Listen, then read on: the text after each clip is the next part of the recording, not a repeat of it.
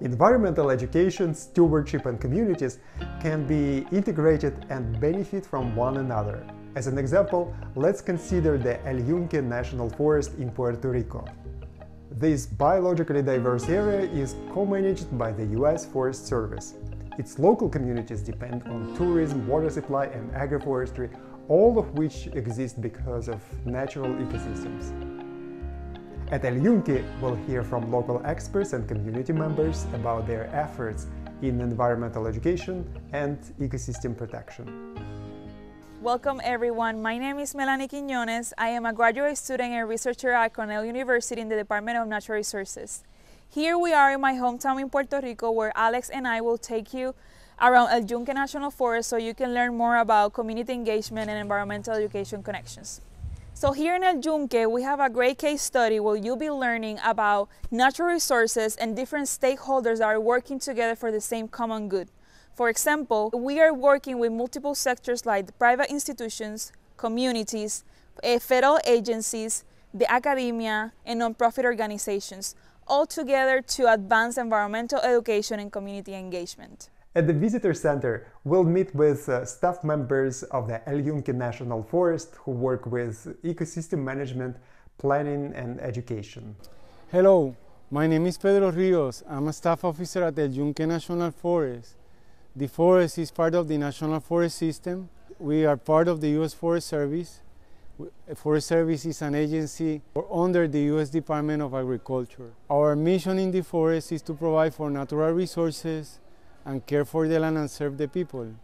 In our case, one of the most important resources is water and wildlife habitat. The way we manage the forest is that we use the UN Biosphere principles and adapt them to the land management process of the agency.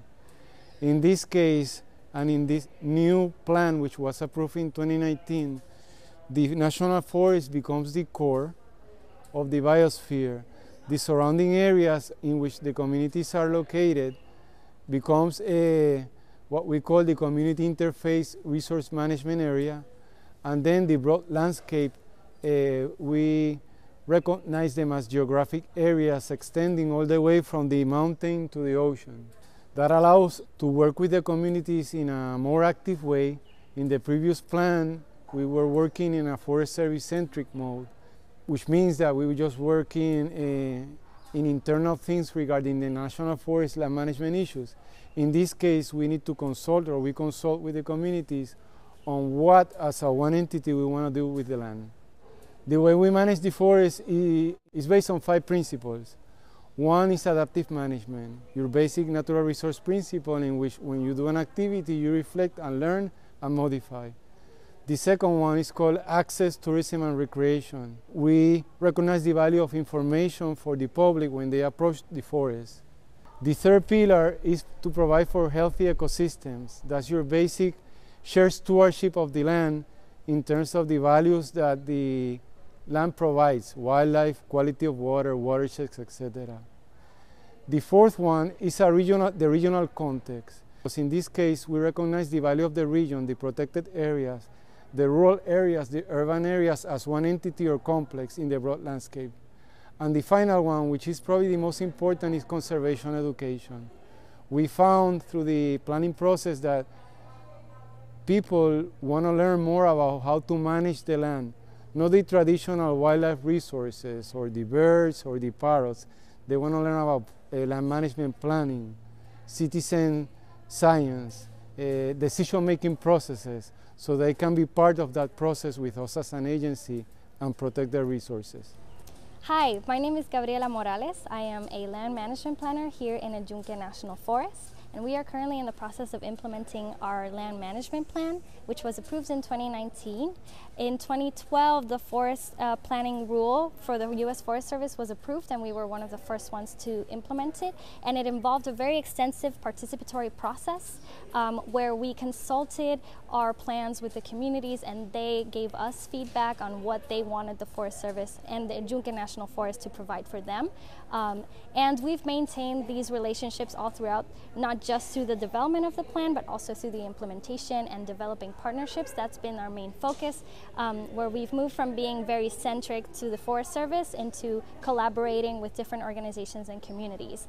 We partnered with an organization called Vitrina Solidaria, and they've been focusing on solidarity economy and capacity building in terms of small businesses and what they need to get to the next step to be in a successful uh, business. And we've also been open, especially in the outer parts of the forest, for collaborations where people can do small businesses. It can be through tourism, it could be even through some small scale agriculture or uh, with, through sustainable practices like agroforestry and uh, other practices. Another partnership that we've developed has been directly with uh, a community where we've delegated them to be in charge of one of our recreation areas. Um, they expressed interest in developing that area in terms of um, them doing environmental education inside the forest. So we've um, drafted an agreement with them where they can manage the hours of the recreation area where they can do activities that have to do with environmental education, even some forest therapy trails.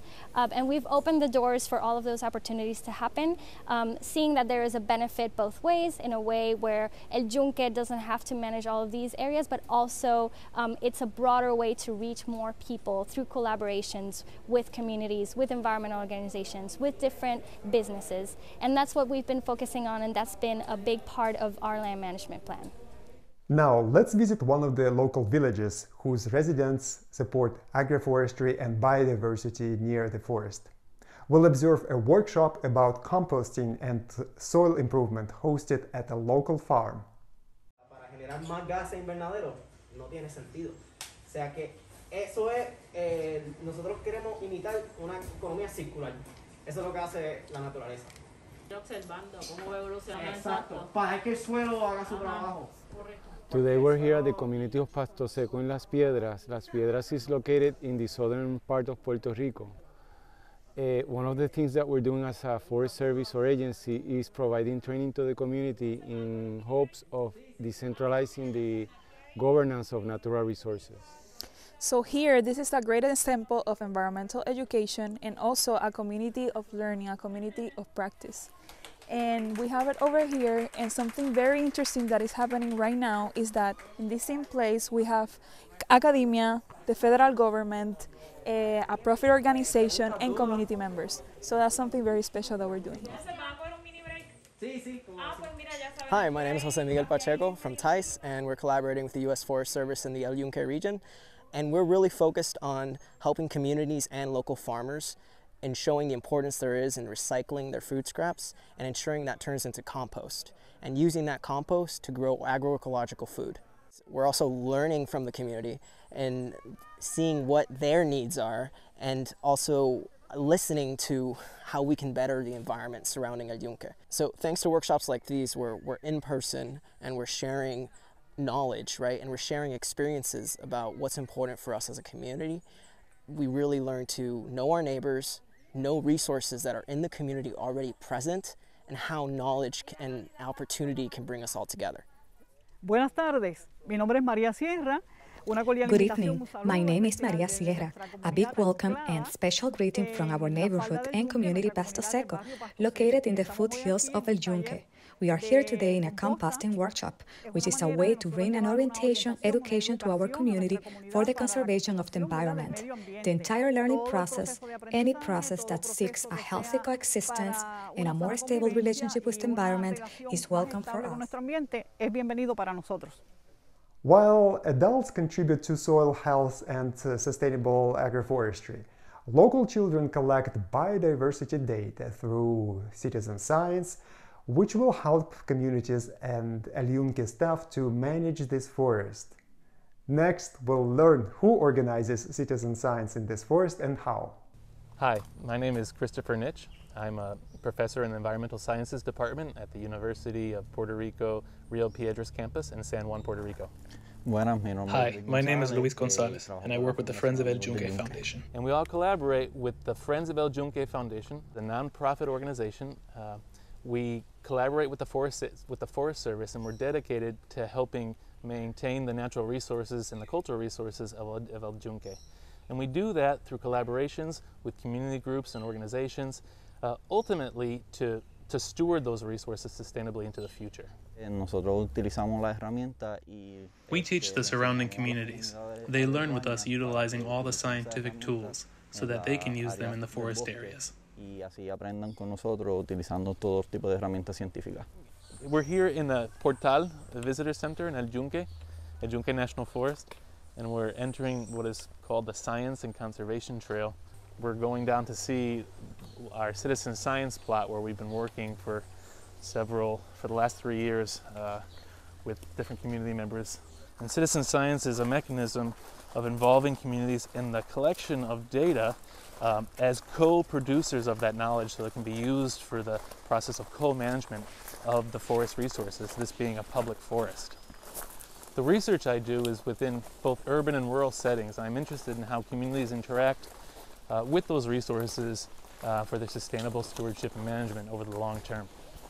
The foundation, Amigos, has many different projects focused on trail rehabilitation, um, restoration of, of, scenic natural areas, uh, as well as work that we do for removing invasive species, planting native trees, and other projects. And our flagship project over the past three years has been focused on a citizen science project of, of collecting vegetation data in secondary forest areas in El Yunque. And what I mean by secondary forest areas are areas that in the past have been cleared, whether for agriculture or for logging or for other human purposes, and have since regrown um, to become advanced secondary forests with trees, as you can see around here. So we're here at one of our citizen science plots. This is one that we established about two years ago. Um, and the goals here are focused on conservation education and also sustainable management. And when we come here uh, with the community members who work with us, um, we have students from the university, we have volunteers of all different ages, kids, adults, retired persons. Um, they come and they join us in the field here. So we use different tools. Um, many of them are common tools that you might find uh, uh, in your home or at your school. Uh, and one of them is a simple measuring tape. And this is very useful when we're laying out a plot and we're trying to figure out the distance um, uh, between trees or the, the size of the plot. So the methodology that we've been using to measure the forest resources is based on an adapted methodology from something called i-Tree, uh, which is a, a suite of tools developed by the Forest Service and other partners um, that allows communities to go into urban and rural settings um, and take measurements about the trees and then convert those measurements into biomass and ultimately ecosystem services. Um, it's very user-friendly uh, uh, methodologies and software that is freely available uh, for communities and universities and other partners to use. So another interesting thing that that is happening is that at the same time we're, we're building these local connections around ideas of resource management and sustainability, we're trying to link that scale up and link it to, the global agenda uh, of, of sustainability uh, uh, related to the Sustainable Development Goals and Agenda 2030. Um, and one of the mechanisms that we've been using to do that is the RCE community, which stands for Regional Center of Expertise on Education for Sustainable Development. We have RCE here in Puerto Rico, and Amigos del Yunque and the Forest Service and several of the partners that we've been talking about are, are um, part of our RCE. And so that gives us a platform to then take these ideas that we're working on here in the forest and then um, connect them to more global goals related to sustainability. In addition to citizen science, El Yunque supports many other educational tools that engage students, families, and other community members. Hi, my name is Pablo Gerandi Roman, and I am the Natural Resource Education Specialist in the Yunque National Forest. I want to show you some of the projects that we have been working with for the last couple of years, especially the ones related to the art installations in El Portal del Yunque, which is the visitor and community center, and also the exhibits the new exhibits that we have installed in this building. And I'm walking with you to this area of the building towards the north because from here you can see the ocean and the main concept that is connecting the art, the science in the exhibits, the communities and the work in managing natural resources in El Yunque is essentially the connection from the ridge or the mountain to the coast or the reef, from ridge to reef. And in El Portal you can see that connection in some of the art installations, we were able to have five art installations in El Portal from Puerto Rican artists. And the floor has art that represents the Caribbean area And when you come to the Caribbean, you look to your right, and essentially you're looking at the mountain, at El Yunque. We have the art of the trade winds on the floor because the stories that we are telling is all about connections. The trade winds reach the mountains in El Yunque. The humidity uh, precipitates in rainfall, essentially, and Puerto Rico is one of the first places in the Caribbean that receives the hurricanes that are coming to, to this area of the world. Another connection with the Puerto Rican culture and the culture of the communities around is, for example, this exhibit that not only discusses concepts of science like the pH of the water environments in El Yunque, but also the history of the Puerto Rican flag and the construction of the exhibit itself refers to uh, a piragua, which is uh, like the snow cones that we have in Puerto Rico. And those are the typical cars that you can see around the island selling those piraguas. So one day I was at East Peak and I saw this water droplet basically hanging on this vegetation. And I thought that this is where the ocean starts, essentially. This is the peak that receives most of the humidity from the trade winds. And the water that condenses and precipitates here infiltrates to the soil and it gives rise to the tens of rivers that originate in El Yunque and to about 20% of the water that we use in Puerto Rico. So another example of community connections is the art that we have in El Portal Naimar Ramirez, the artist, created these sculptures with humanoid figures so we can identify with them in many different ways and including the vegetation. This is a sculpture that changes over time and this represents how we change our perspectives based on our knowledge and ideas on what the forest means to us. So we go to the communities. This is our new phase of work with communities. We go to the communities and we learn from them in terms of what ecological aspects, what environmental education concepts are important for them, what they know that they can teach us, and we've been collecting data on that through community meetings, through surveys, through our activities in the forest. And based on that information, we've created spaces like this that show the main concepts that the people are interested in understanding when they come to the forest and some of the concepts that are important for us and for the communities to manage natural resources. An important element that we're also working in El Yunque National Forest is how people and how communities understand their sense of place and their connection to different places. So for example, through my research, we're trying to understand how shared stewardship opportunities and activities can be implemented in areas where people have a strong connection or not, and which ways we can also create those connections and those place attachments and sense of place.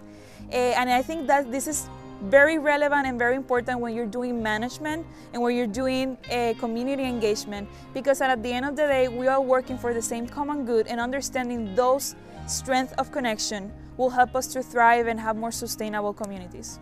Special thanks to Melanie, community members, staff at Yunque National Forest, and everyone who helped us in this journey.